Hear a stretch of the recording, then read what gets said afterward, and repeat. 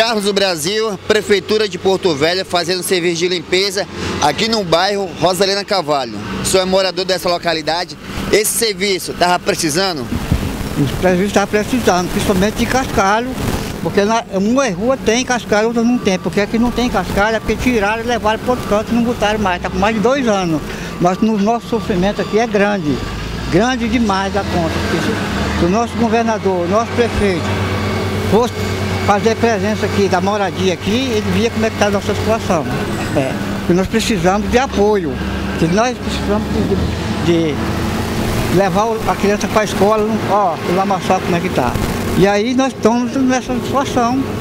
Nós precisamos uma orientação séria, porque nós somos brasileiros, nós pagamos nossos impostos, nós pagamos nossos direitos, a nossa luz nós pagamos, nosso.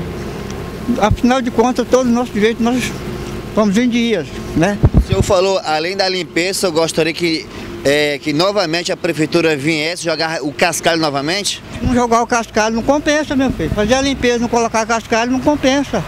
Jamais. Porque vai ficar pior do que já está. Se não tiver o cascalhamento, não, não adianta, não compensa.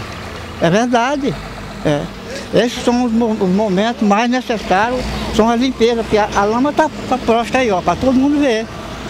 Todo mundo está vendo aqui a lama aqui, ó, na nossa frente. Ó, ambos lados. Vai naquela rua ali que o senhor vê como é que tá, tá pior do que essa. Vai ali para trás que o senhor vê, tá pior do que essa. Depois que finalizar esse serviço do jeito que o senhor quer, aí fica bom. Fica bom, botão de cascalho.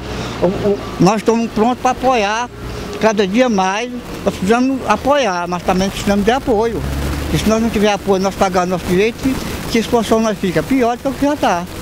É. Eu agradeço a oportunidade e espero que tenha um, uma boa administração desse serviço.